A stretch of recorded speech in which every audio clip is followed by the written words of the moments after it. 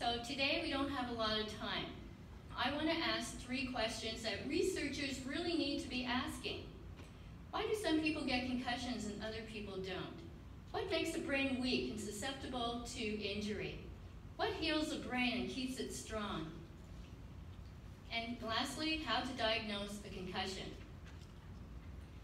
So why do some people get concussions and others don't? I mean, I was playing soccer one time uh, with the kids and, and the team, and I accidentally head, headed the ball right on top of my head.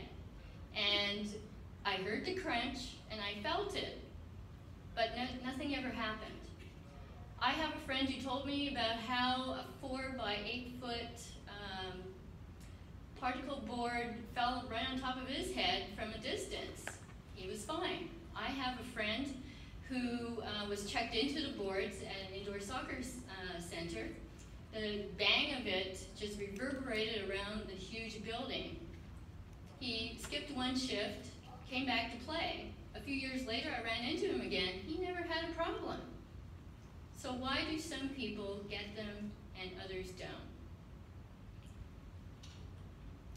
Here are some clues that Chinese medicine teaches us.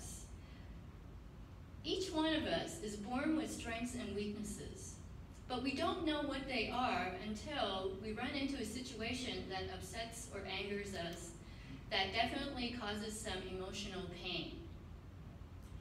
Oh, the latest information from Western uh, medicine actually tells us that people with concussions and PCS have a pre-existing mental emotional situation.